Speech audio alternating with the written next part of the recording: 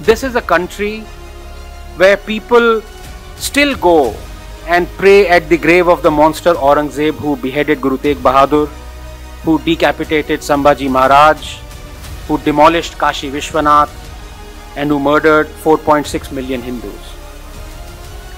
This is a country where Guru Arjan Dev was forced to sit on a hot plate and literally cooked alive by the Mughal Emperor Jahangir. And what do we do? We immortalize Jahangir in our films as that affable, feather toying romantic Salim.